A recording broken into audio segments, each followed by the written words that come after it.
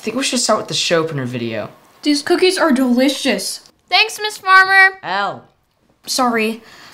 I don't know. Maybe I could welcome everyone to the show first? Maybe. Oh, hey Team Kids. Hey guys, great timing. Keller and I can't decide how we should begin our first ever show.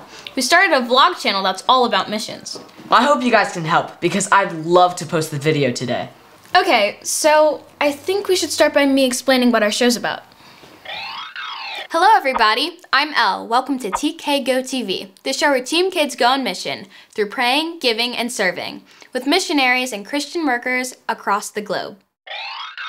I'm not gonna lie, that is pretty good. Now, let's give them a look at our show opener. Let's take a look.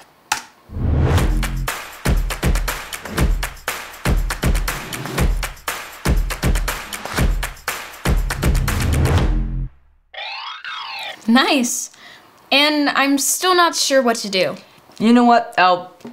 I don't really think it matters how we start or end the show. All that matters is sharing how God is at work all around the world. You're so right. So, for now, let's just give our friends a sneak peek at what we have so far. We can decide on the details later. Okay, let's do it.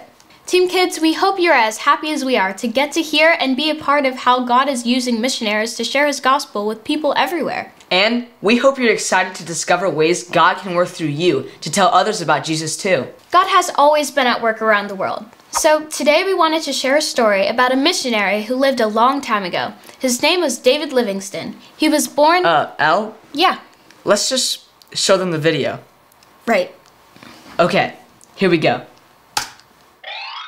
Most of you probably remember the 1800s as a time when the bicycle, refrigerator, and tin can were invented. Wait a minute, how can you remember that?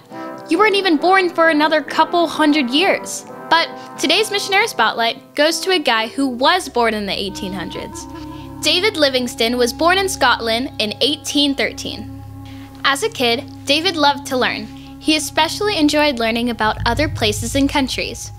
He was an explorer at heart. When he grew up, David knew he wanted to be a missionary. A friend told him that many people needed to hear the gospel in African countries, so David headed that way. As soon as David arrived, he began to explore his new home. David traveled to parts of Africa where no other European had gone before. He wanted to take the gospel to areas where it had never been. David made many amazing discoveries during his travels. One of the most famous was Victoria Falls, one of the largest waterfalls in the world. He also discovered that many people in Africa were being sold unwillingly as enslaved people. God used David to encourage others to sell Africa's many valuable natural resources instead of its people. This eventually helped lead to the end of slave trade. So, what does David Livingstone's story have to do with us today? We can be like David Livingstone. No matter where we go, we can show people that we respect and value everyone, and we want all people to know about the love of Jesus. Well, what did you think? If you liked what you saw, stick around. We can't wait to share more mission stories with you.